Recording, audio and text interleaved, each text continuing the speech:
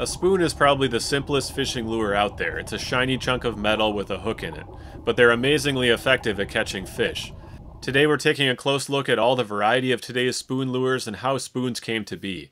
The spoon is a classic lure that's been around for hundreds of years, if not longer. There are claims that polished clamshells were used thousands of years ago, and this began the age of the spoon lure. The story goes on that J.T. Buel was the inventor of the modern spoon in the mid 1800s when he was eating on a boat and dropped his metal spoon into a lake. Watching it flutter down into the water gave him an idea that resulted in the modern spoon lure. If you look at one of today's spoons, many of them still resemble a spoon that you'd eat with. Cut the handle off and add a hook, and now it's a fishing lure. Buel eventually patented this idea and manufactured a variety of spoons and spinners.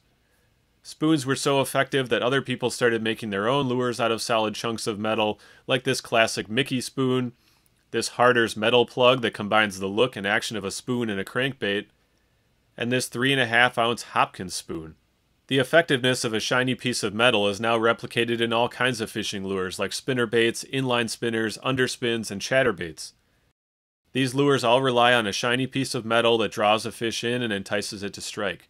If you've used a spoon, chances are you've used this classic, the original Daredevil spoon in red and white. Michigan based Eppinger Lures still manufactures these along with the Red Eye Wiggler and many others.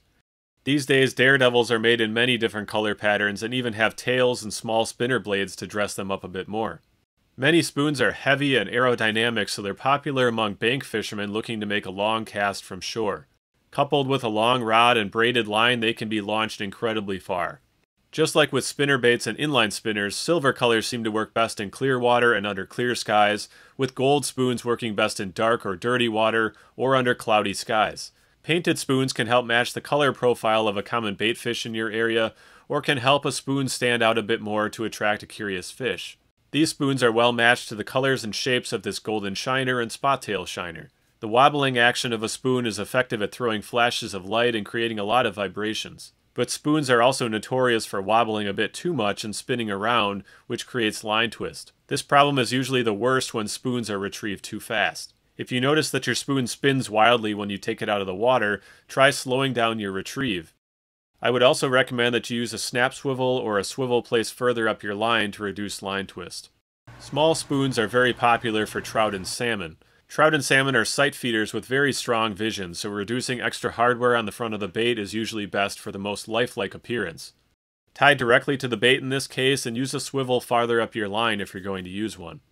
Jigging spoons are meant to be jigged vertically off of a boat, off of a pier, or through the ice.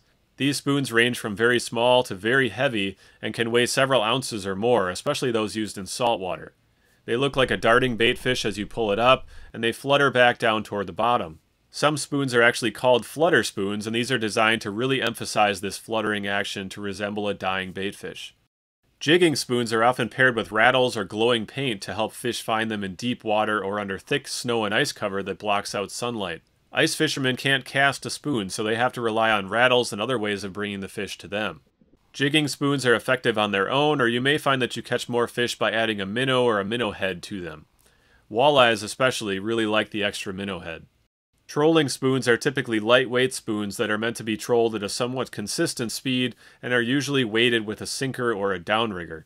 They're not the best for casting because of their light weight. Some heavier spoons like a cyclops or a crocodile can be used for trolling at faster speeds or for casting a long way. Most of the time, spoons are best used in open water or around rocky cover.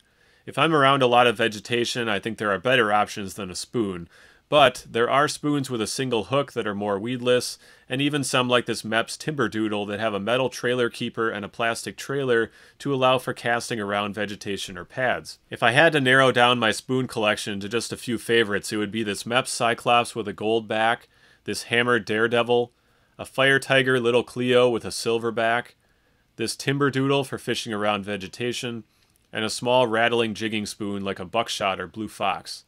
Good luck out there, and thanks for watching. We'll catch you next time.